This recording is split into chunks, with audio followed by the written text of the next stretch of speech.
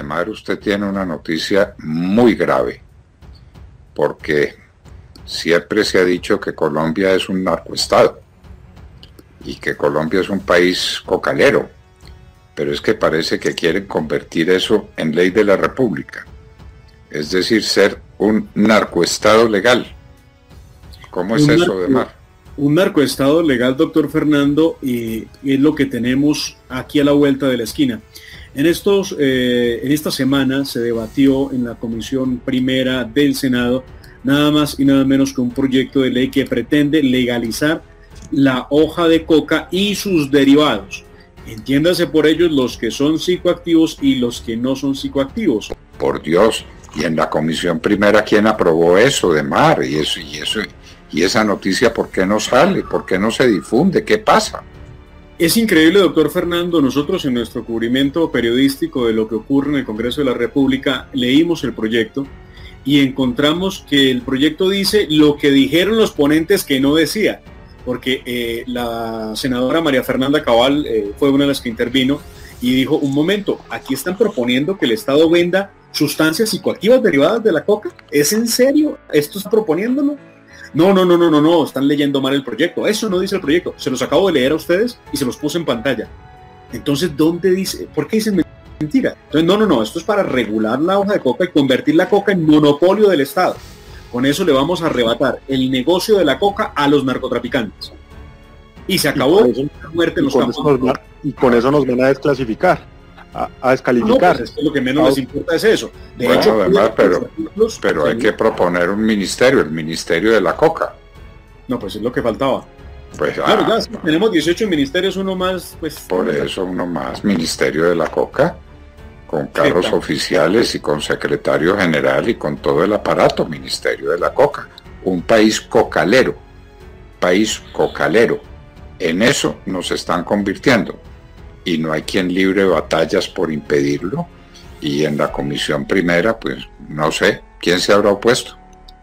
Pues lo que le digo, Esperanza Andrade del Partido Conservador, María Fernanda Cabal del Centro Democrático, pero estoy hablando de una minoría porque realmente la comisión primera tiene unas mayorías, eh, ¿cómo se llaman ellos? Ellos son como del corte de Colombia Humana. Ah, por ejemplo, el doctor Petro está entre los ponentes y autores de este, de este proyecto.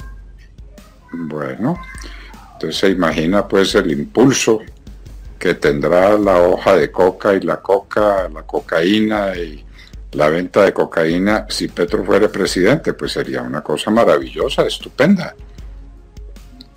Pues son los es... que vienen y que pareciera, como usted lo dice, doctor Fernando, no importarle a la gente. Creo que muchos periodistas se quedan con el titular de lo que dice el ponente, pero no leyeron el proyecto y por lo mismo creen que efectivamente ese proyecto no tiene nada que ver con comercialización de estupefacientes. Pero pues lo dice el proyecto sí lo dice. Claro que si se autoriza sembrarlo, porque estoy oyendo hablar de la hoja de coca. Después, la conversión a clorhidrato de cocaína, ¿hay artículo especial que diga que proteja los laboratorios o qué? No, de hecho hay un artículo que eh, habilita, si lo quiere así el Estado, eso sí es un, no es imperativo sino optativo, si lo quiere así el Estado, para que laboratorios en las universidades o laboratorios independientes puedan hacer la transformación de la hoja de coca y estudios ah. con hoja de coca. Ah, era lo que faltaba. Las universidades son las que se van a encargar de la transformación. Ah, no, pues quedamos listos. Mire usted lo que dice, por ejemplo, en el tema de exportación y política internacional del proyecto. El Estado tendrá el monopolio de la exportación de derivados psicoactivos y no psicoactivos de la hoja de coca. Es clarísimo. El gobierno nacional determinará las instituciones y los mecanismos que se encargarán del ejercicio de esa potestad. Dicha exportación se hará en estricto respeto a la normatividad vigente sobre la materia en el país importador y en el marco de los tratados internacionales suscritos por Colombia. Pero en ese mismo artículo dice que el Ministerio de Relaciones Exteriores gestionará con los países interesados en el control de la producción y comercialización de la hoja de coca y sus derivados un fondo internacional para la compra de la hoja de coca que se produzca en los territorios a que se refiere el artículo quinto esos territorios son los territorios protegidos o territorios indígenas. La idea también es que se pueda ayudar con el negocio que muchos tienen en Colombia, entre otros, recuerden ustedes que lamentablemente nuestros campos están llenos de coca. Por cuenta Queridos amigos, esto es inaudito. Colombia es un país cocarero o será un país cocarero. si pasan tres debates más, la plenaria del Senado, la comisión de la Cámara y luego la plenaria de la Cámara y quedamos listos. Y el presidente eh, la sancionará y a la Corte Constitucional le, le parecerá eso maravilloso. Muy bien. Pero estén tranquilos, porque de la distribución interna se excluye el bazuco y la pasta base de la coca. Bueno. ¿Idea de quién? De los sectores que llaman progresistas. ¿sí? Esos son los sectores, los, progresistas. Eh, ¿Como cuáles? Eh, los comunes, obviamente, los comunes están en primer lugar, o sea, el partido FARC, el que ahora se llama Comunes. Eh, ¿Quiénes más están? El Partido Verde, el doctor Marulanda está metido ahí también. Los liberales, también he escuchado al doctor Fernando Velasco, hablar de este proyecto y defenderlo. Obviamente, ponente de él había sido el senador Armando Benedetti.